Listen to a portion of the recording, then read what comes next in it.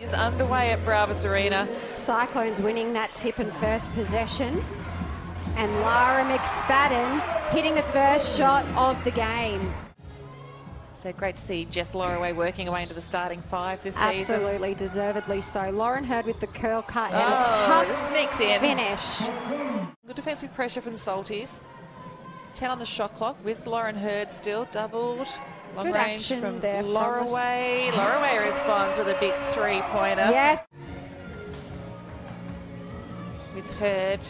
Goes out to Bowman for three. We know she can hit that shot. that shot. She likes it. Hurd pushing the floor, pushing the ball down the floor. Excuse me, to Hay. Corner three-point Oh, shot is good. Great long ball from her to Hay, and she finishes the play with a three-pointer for the Cyclones. Sellout crowd at Rockhampton's Bravus Arena, and um, Feed pass from. Hunt to Reese. pressure from Cyclones, and a nice finish there from Hunt again. Big knock to the jaw there, and that scrap for the rebound. She's okay.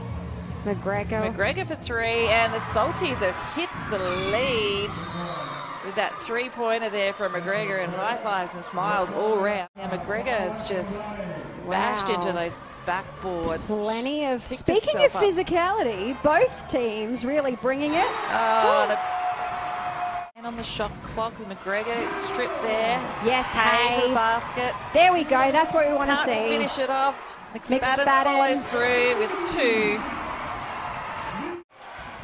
Ten on the shot clock for the Salties. Just working it in Nisbet. Dishes out to McGregor for three. She's got a lovely shot.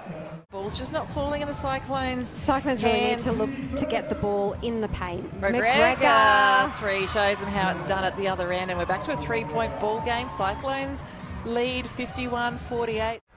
McSpadden to bring it back in again. Good defensive pressure there from Bowman with Hurd. Hayes Hay- open on the three. Oh, and makes the three. A big three-pointer at this stage of the game as we head towards the final.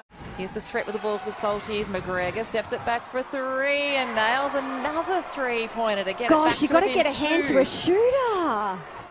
on the clock, on the scoreboard, we got Someone's there going to have to have a shot here soon. Oh, Bowman wide open. Bowman, a big fist pump heading back down the court from Nick McSpadden. Getting the crowd going.